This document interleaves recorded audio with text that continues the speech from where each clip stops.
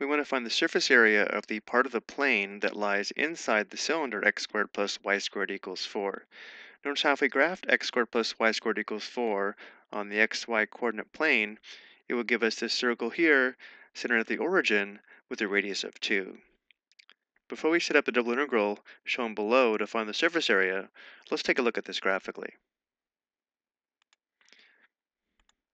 So the function f of x comma y is the blue plane, and we're trying to find the surface area of the plane that's inside this red cylinder. If we look down on the xy plane,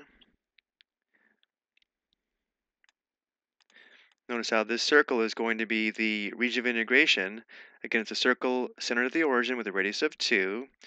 But if we angle this correctly, notice how the surface area is actually going to be the area of the elliptical region shown here inside the red cylinder. So going back to our work, again, here's a double integral that's going to give us the surface area. Notice how we'll have to find the partial with respect to x and the partial with respect to y.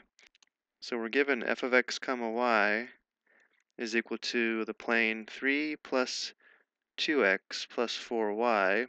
So to find the partial with respect to x, we differentiate with respect to x, treating y as a constant, which will give us a partial derivative of just 2.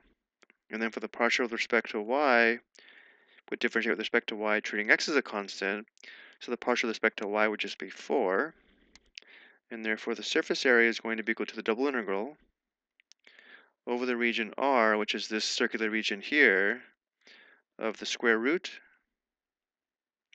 of 1 plus the partial with respect to x squared, that would be 2 squared, plus the partial with respect to y squared, that would be 4 squared, and we have differential A. But for this example, because the region R is a circle, let's evaluate this using polar coordinates rather than rectangular coordinates. So for a quick review, when converting a double integral from rectangular form to polar form, we need to write the function f of x comma y as a function of r and theta using our formulas here. This won't apply in our case though because the integrand function is actually a constant, but differential a is equal to r dr d theta. So going back to our work, again, notice how the integrand function is just a constant. It's equal to the square root of the quantity 1 plus 4 plus 16, which equals the square root of 21.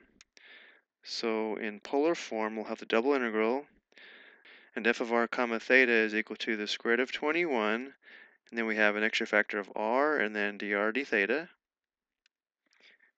And now we need to define the limits of integration for r and theta, that would trace out this circle in the xy plane. So notice how the radius r would be from 0 to 2. And then to trace out the circle theta would be from 0 all the way to 2 pi radians, one full rotation. Let's go ahead and evaluate this on the next slide.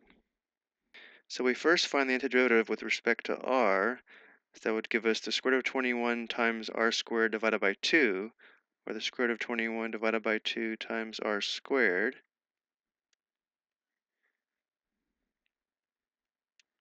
So we have the integral from 0 to 2 pi. Then we have the square root of 21 divided by 2, and then when r is 2, we'd have 2 squared. When r is 0, of course, we have 0 squared.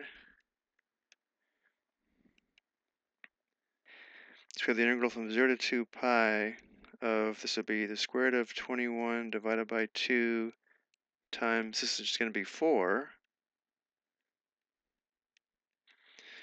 Notice how this simplifies to just 2 square root 21.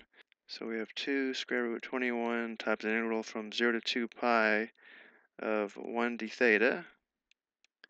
So we have 2 square root 21 the antiderivative of 1 with respect to theta would just be theta.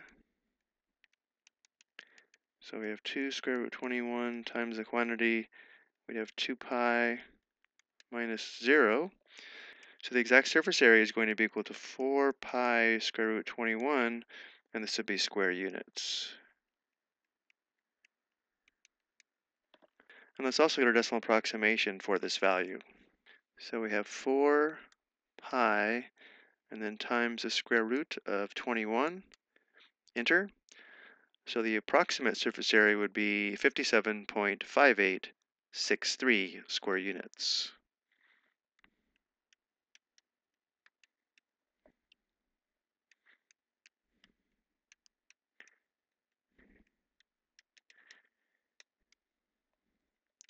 So going back to our graph one last time, we just found the surface area of this blue plane inside the red cylinder, which would be the area of this elliptical shaped region here. I hope you found this helpful.